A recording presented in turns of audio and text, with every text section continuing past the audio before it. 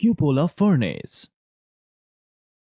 For many years, the cupola was the primary method of melting used in iron foundries. The cupola furnace has several unique characteristics which are responsible for its widespread use as a melting unit for cast iron. These are as follows.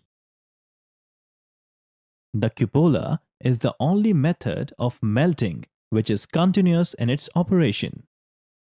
It also has high melt rates. At the same time, it also has relatively low operating costs. It enables ease of operation. Now we will see how this cupola furnace is constructed.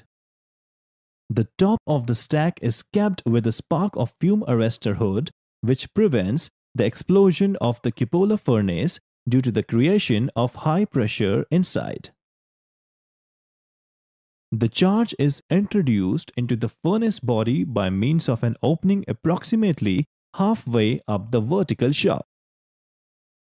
The charge consists of alternate layers of the metal to be melted, coke fuel and limestone flux, which rests on the charging floor. The purpose of adding the flux is to eliminate the impurities and protect the metal from oxidation. The construction of a conventional cupola consists of a vertical steel shell which is lined with a refractory brick. An air blast is introduced through the wind box and tuyeres located near the bottom of the cupola. The air reacts chemically with the fuel, thus producing heat of combustion. The fuel is burnt in air, which is introduced through tuyeres positioned above the hearth. The hot gases generated in the lower part of the shaft ascend and preheat the descending charge.